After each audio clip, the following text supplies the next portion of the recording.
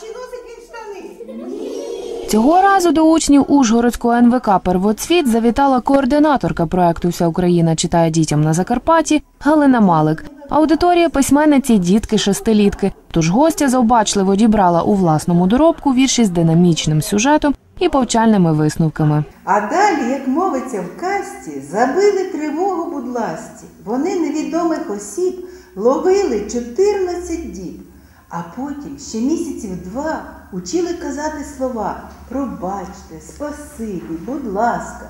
На цьому й скінчилася б казка, та вчора я стріла особу одну. Вона продавцеві казала: А ну, одразу мені пригадалася казка про два королівства. А ну і будь ласка, подумала я, а можливо, цей раз війною пішло королівство на нас?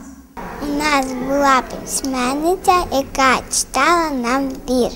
У нас у гостях сьогодні була відьма Жужа і кіт. А ти відьми не боїшся? Я сама виступала на свято відьма.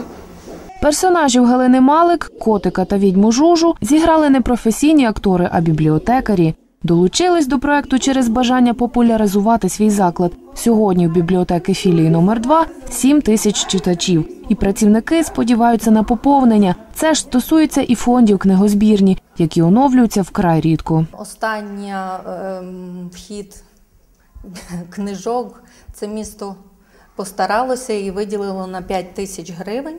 е, Закупили книжок до бібліотеки. Це на протязі п'яти років. Останній вклад такий був.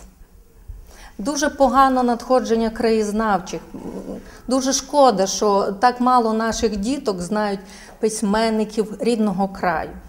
А ми намагаємося це залагодити зустрічами і святами, і вікторинами. Запрошуємо гостей до нас, ми йдемо в гості. Ось так. Презентацію відвідали батьки. Мама першокласниці Оксана Сербинська пишається, що з донею читає давно і щоденно. Нема виправдання, якщо батьки не читають дітям. Дітям обов'язково треба читати. Воно розвиває, мовлення розвиває, мишлення розвиває. Тож на зустріч святові Миколая батькам варто пам'ятати про книгу подарунок. Окрім того, якщо вдома виданню досталь, добра справа стати бібліотечним Миколаєм і подарувати хоч одну книжку для тисяч дітей.